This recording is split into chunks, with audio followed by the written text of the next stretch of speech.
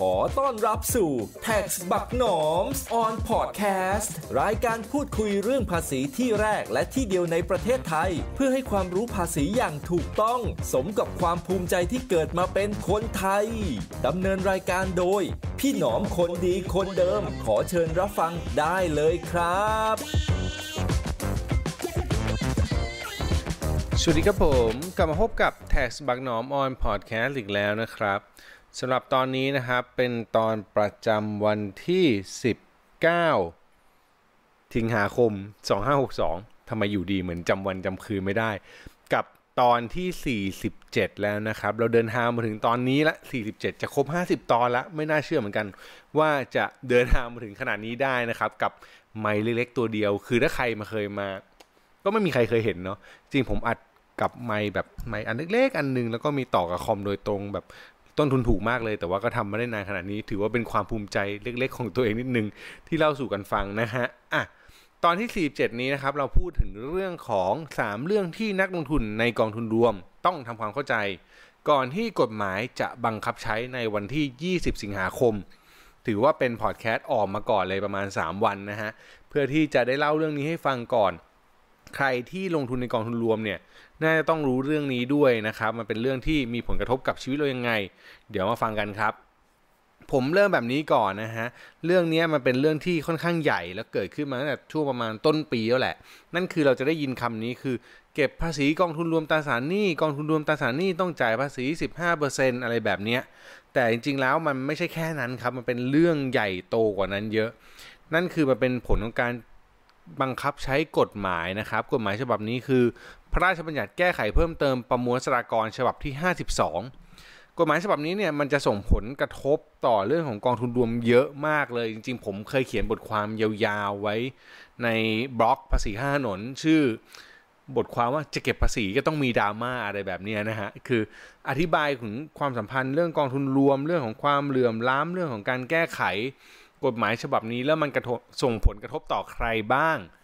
ไว้อย่างยาวเหยียดแล้วถ้าใครสนใจก็ลองไปอ่านดูได้นะครับลองหาเพิ่มเติมได้ แต่ว่าในส่วนของวันนี้เนี่ยจะมาเล่าแค่ในส่วนสรุปที่เกี่ยวข้องกับนักลงทุนหรือคนทั่วไปอย่างเราๆว่าเฮ้ยถ้ามันมีกฎหมายฉบับนี้ใช้เนี่ยเราจะเจออะไรบ้างนะครับ โอเค เพื่อไม่เป็นการเสียเวลาเรามาเริ่มกันเลย ตั้งแต่ข้อแรกก่อนนะครับ ข้อแรกเนี่ยอันดับแรกคือเราต้องทำใจก่อนเลยว่า ผลตอบแทนนะครับที่ได้รับจากการลงทุนเนี่ยมันจะลดลงนะครับ ตัวผลตอบแทนเนี่ยเดิมเราจะได้ผลตอบแทนจากการลงทุนค่อนข้างเยอะอยู่แล้วแหละ ถ้าไม่ว่าจะเป็นกองทุนประเภทไหนก็ตามเนื่องจากว่าไม่ถูกเก็บภาษี แต่พอถูกเก็บภาษีเนี่ยผมอธิบายแบบนี้ก่อนนะครับ ภาษีเนี่ยมันเก็บเฉพาะกองทุนที่มีรายได้จากดอกเบี้ยรับ อธิบายแบบนี้นะครับ ฟังอีกทีนะฮะกองทุนเนี่ยจะถูกเก็บภาษีเมื่อมีรายได้จากดอกเบี้ยรับนะครับ โดยกฎหมายเนี่ยกำหนดไว้ชัดเจนในมาตรา 63 แก้ไขมาเลยนะครับ แก้ไขจากกฎหมายฉบับนี้แก้ไขมาตรา 63 วงเล็บ 3 ว่า เงินได้ตามมาตรา 40 วงเล็บ 4กอไก่ นั่นคือเรื่องของดอกเบี้ย ของบริษัทหรือห้างหุ้นส่วนนิติบุคคลที่เป็นกองทุนรวม จะต้องเสียภาษีในอัตราร้อยละ15 ของรายได้ก่อนหักรายจ่ายใด ๆ นั่นคือ ถ้ากองทุนรวมไปลงทุนในอะไรก็ตาม เราได้ดอกเบี้ยเนี้ยกลับมานะครับ เป็นเงินได้ 40วงเล็บ4กอไก่ปับ๊บจะต้องเสียภาษี 15%ทันที ดังนั้นถ้ากองทุนรวมไหนมีการลงทุนในเนี่ยพวกแบบตราสารหนี้พวกเงินฝากพวกอะไรก็ตามที่ทำให้ได้ดอกเบี้ยเนี่ยกองทุนนั้นจะได้รับผลตอบแทนน้อยลง เพราะจะต้องเอามาเสียภาษี 15%จากดอกเบี้ยที่ได้รับ ผลกระทบมันก็เลยจะไปกระทบที่พวกกองทุนตราสารหนี้กองทุนตลาดเงินเป็นหลักนะครับ เพราะว่ามันเป็นกลุ่มที่ไปลงทุนแล้วได้ดอกเบี้ยนั่นเองถูกไหมฮะในขณะที่ถ้าเป็นกองทุนหุ้นล้วนแบบหุ้นร้อยเปอร์เซ็นต์เนี่ยถ้าเขาไม่ได้ลงทุนในเงินฝากในตราสารหนี้อะไรเลย เขาก็จะไม่โดนผลกระทบส่วนนี้เนาะดังนั้นเวลาเราเรียกกันบอกเอ้ยกองทุนตราสารหนี้โดนเก็บภาษีจริงๆไม่ใช่กองทุนตราสารหนี้นะครับแต่เป็นการกองทุนที่ไปลงทุนในพวกตราสารหนี้ตรงเนี้ยมันจะถูก ตัดผลตอบแทนออกไป 15%ไปจ่ายเป็นภาษี มันก็จะน้อยลงทันที ดังนั้นถ้าเราเป็นนักลงทุนที่ลงทุนในกองทุนพวกนี้เราก็ต้องทำใจก่อนว่าเฮ้ยผลตอบแทนที่ฉันได้รับเนี่ยมันน่าจะน้อยลง กองทุนอาจจะบริหารผลตอบแทนให้ดีขึ้นได้ แต่นั่นก็คือต้องพยายามให้มากขึ้นเนาะเพราะว่าตอนนี้มันมีภาษีมาเหมือนกับเป็นตัวตัดผลตอบแทนออกไปละ15%เนี่ยดังนั้นมันก็จะมีผลกระทบตรงนี้แน่นอนนะครับ ตรงนี้ต้องทำใจเลยว่ามันเป็นข้อจำกัด แต่ว่าข้อจำกัดเนี้ยหลายคนบอกโอ้โหทำไมแม่งไม่แฟร์เลยวะอะไรเงี้ยมาเก็บภาษีมารีภาษีได้ไงคนไทยหรือเปล่านะครับ จริงๆมันไม่ได้เกี่ยวกับเรื่องนั้นหรอกครับ มันเป็นการลดความเหลื่อมล้ำแบบหนึ่งด้วย ผมเล่าเพิ่มเติมอีกนิดนึงคือเดิมกองทุนรวมเนี่ยมันไม่ใช่บริษัทห้างส่วนนิติบุคคลตามกฎหมาย นั้นกองทุนรวมเดิมจะไม่มีหน้าที่เสียภาษีครับ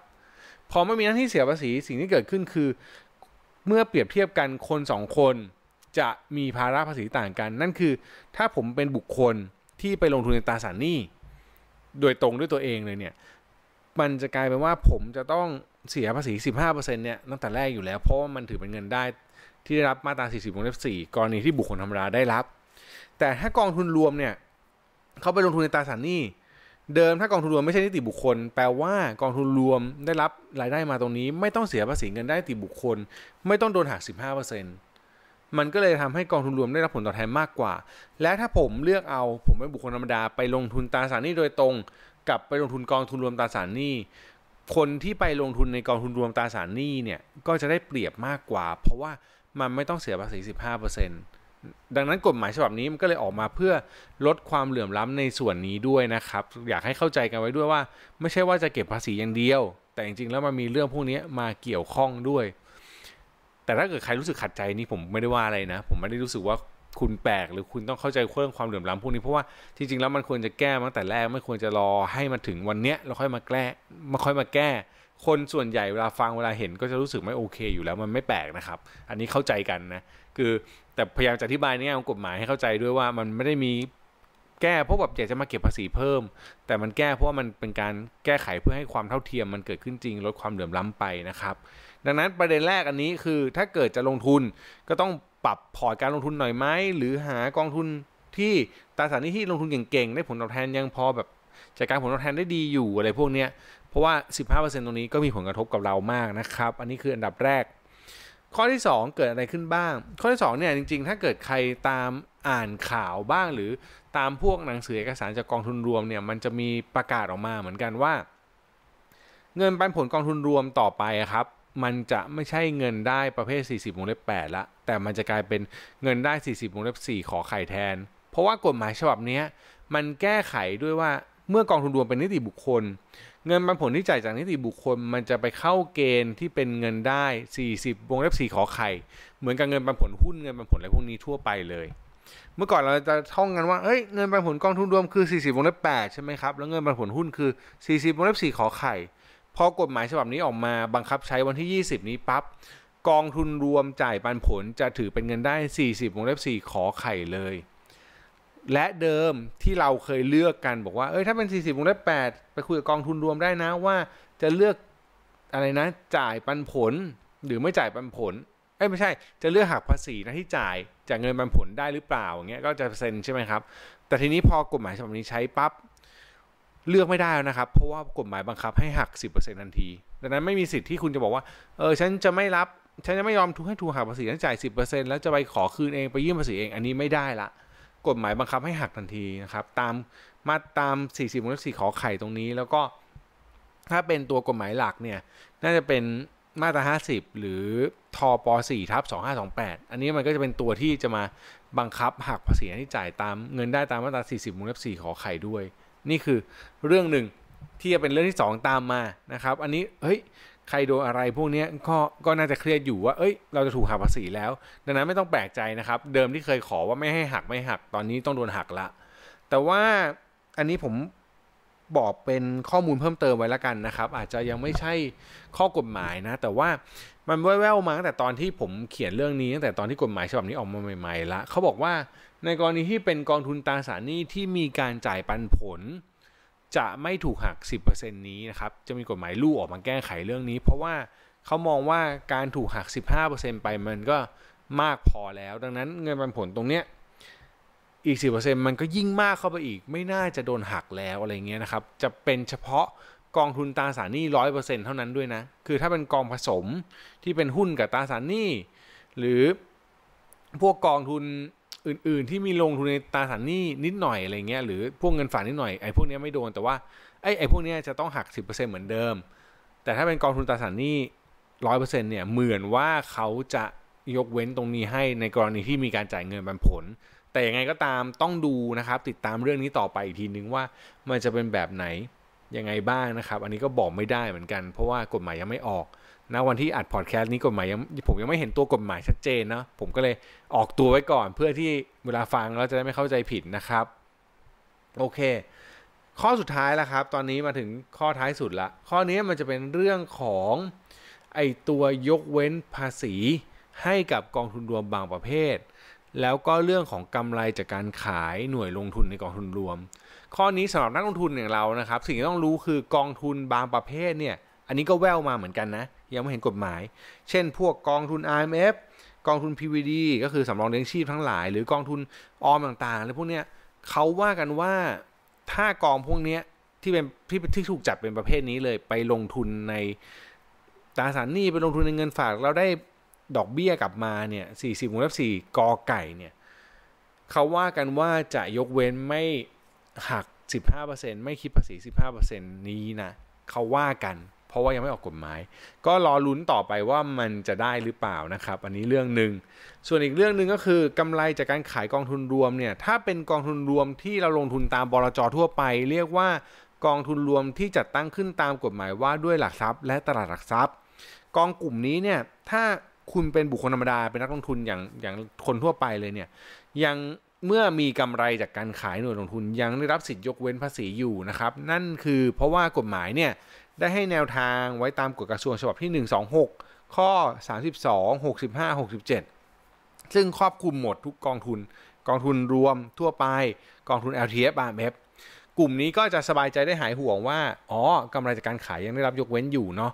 จะโดนแค่ในเรื่องของผลตอบแทนที่ได้รับจากการลงทุนที่มันเป็นพวกตราสารหนี้นั่นแหละ ในข้อแรกที่ผมว่าไปนะครับ ดังนั้นโดยสรุปทั้งหมดมาถึงตรงนี้ บอกตรงๆว่ามันมีผลกระทบครับ แต่ว่า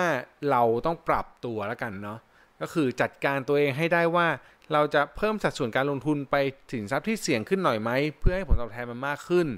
หรือเราจะยอมรับได้ว่าถ้าถูกเก็บภาษี 15%ไป ในส่วนที่เป็นกองทุนตราสารหนี้หรือกองทุนรวมที่ไปลงทุนในพวกเงินฝากพันธบัตรตราสารหนี้ทั้งหลายแล้ว ลดผลตอบแทนไปหน่อย เราไม่รู้สึกอะไรมาก เราก็อยู่เหมือนเดิมก็ได้ หรือเราจะหาการลงทุนเส้นทางอื่นก็ได้ อันนี้เลือกได้หลายทางเลยนะครับ แต่ว่าอย่างน้อยให้รู้ว่ามีผลกระทบกับชีวิตเราละ เราจะจัดการยังไงต่อไปเนี่ย มันก็จะเกิดขึ้นหลังวันที่ 20 สิงหานี้เป็นต้นไป